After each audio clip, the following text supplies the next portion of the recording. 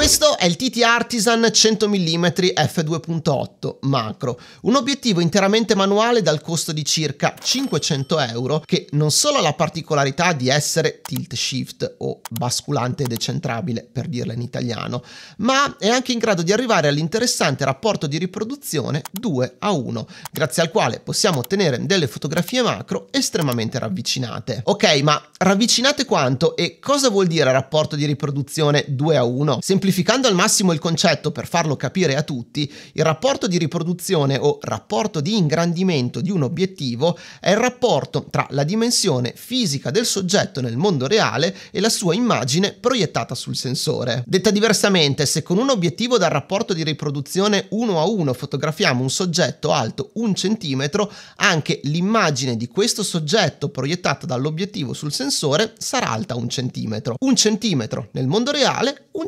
centimetro sul sensore. Con un rapporto 1 a 2 come nel Sony 70-200 f4 Mark II testato un mesetto fa, un centimetro nel mondo reale verrà proiettato su mezzo centimetro sul sensore, mentre con questo TT Artisan che ha un rapporto di riproduzione 2 a 1, un centimetro nel mondo reale corrisponderà a 2 centimetri sul sensore, andando di fatto a ingrandire di due volte il nostro soggetto, in maniera concettualmente analoga a quello che fa un microscopio, anche se chiaramente in un microscopio gli ingrandimenti sono decisamente maggiori. Tornando a noi al TT Artisan 100 mm f2.8 macro, come detto si tratta di un obiettivo interamente manuale, costruito completamente in metallo e questo fa sì che il suo peso sia decisamente importante, dato che ferma l'ago della bilancia intorno agli 830 grammi. A me hanno inviato in prova la versione con attacco Sony E, ma ho visto che è disponibile praticamente per ogni attacco possibile e immaginabile,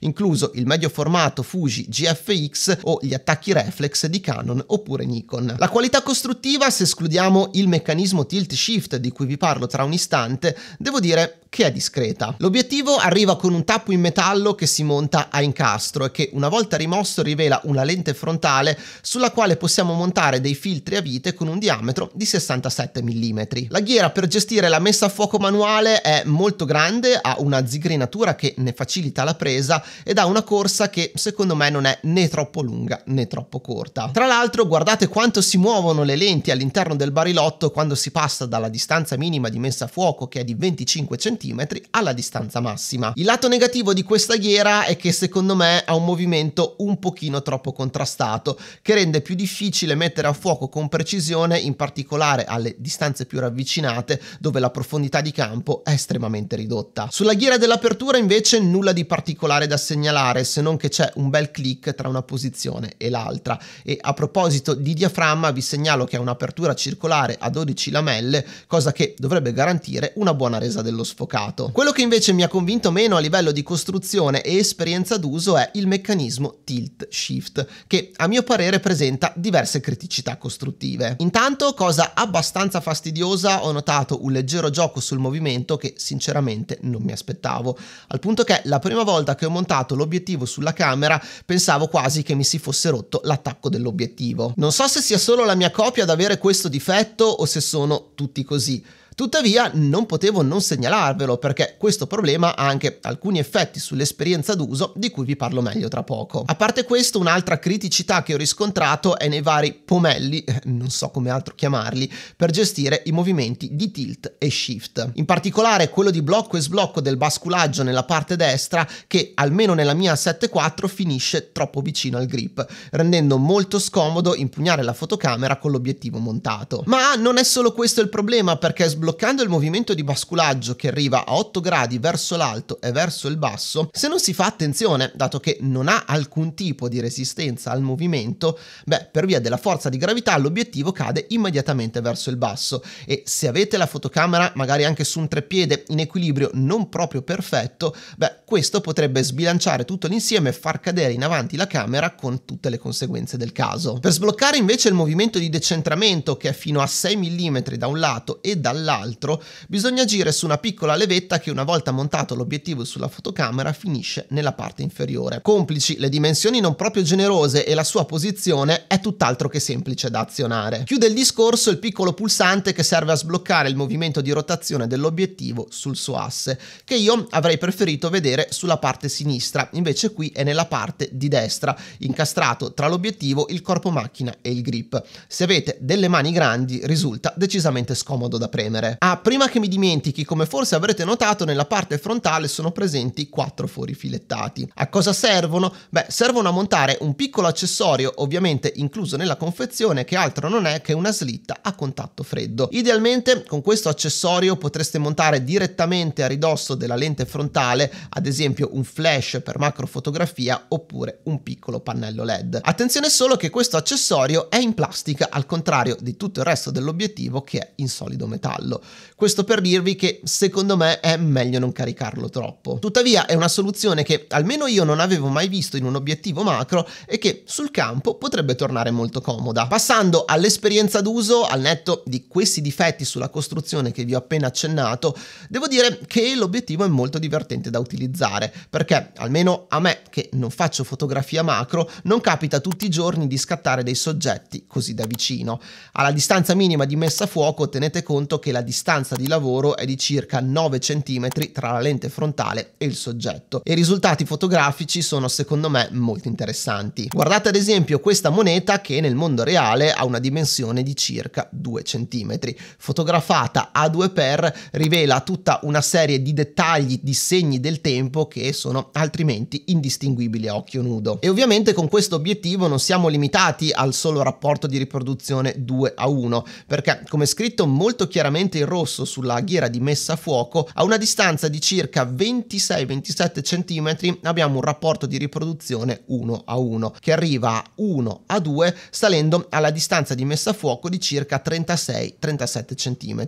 e questo secondo me aumenta ulteriormente la versatilità di questo obiettivo nell'utilizzo macro. Ma non solo perché se vi accollate il discorso della messa a fuoco manuale, la focale di 100 mm è molto adatta ad esempio anche per fare fotografia di prodotto, foto di ritratto, magari fotografia food e grazie al suo diaframma circolare a 12 lamelle la qualità dello sfocato secondo me è molto buona. Questo già a tutta apertura ma anche andando a chiudere il diaframma ad esempio a f4 o f5.6. Obiettivo divertente sì se non avesse, come vi ho accennato prima, quel gioco sul movimento di tilt shift che unito alla resistenza un pochino troppo importante nella ghiera di messa a fuoco, beh, rende particolarmente complesso mettere a fuoco in manuale, in particolare alla distanza minima di messa a fuoco. Facendo due conti al volo su una fotocamera full frame come la mia, alla distanza minima di messa a fuoco di 26 cm e con un'apertura di f2.8, con questo obiettivo abbiamo una profondità di campo di appena 0,7 mm,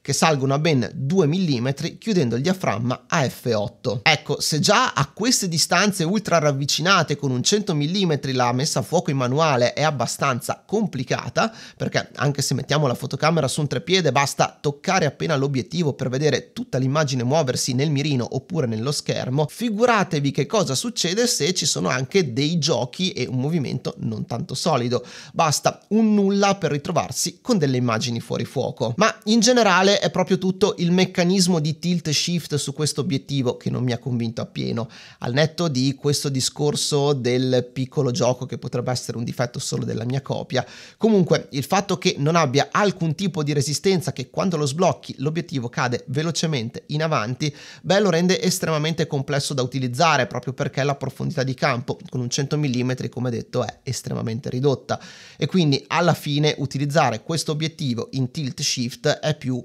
la fatica che il gusto. Ed è un peccato perché avere un meccanismo tilt shift in un obiettivo 100 mm macro come questo e soprattutto in questa fascia di prezzo poteva essere una carta vincente, dato che con il tilt shift possiamo in un certo senso giocare con la profondità di campo come vi avevo spiegato nella recensione del suo cugino, chiamiamolo così, Astrori 85 mm tilt. Peccato doppio perché quando si riesce a mettere a fuoco i risultati sono estremamente validi, con una nitidezza alla minima distanza di messa a fuoco che secondo me è buona già a tutta apertura al centro, un po' meno ai bordi, e che raggiunge il suo massimo intorno a f5.6, per poi iniziare a calare per via degli effetti della diffrazione che a queste distanze così ravvicinate si fanno sentire molto prima del solito. Discorso sostanzialmente analogo uscendo dal mondo macro andando a una distanza di lavoro di circa un metro e mezzo, dove a tutta apertura abbiamo una nitidezza buona al centro e sufficiente ai bordi, con una vignettatura abbastanza pronunciata,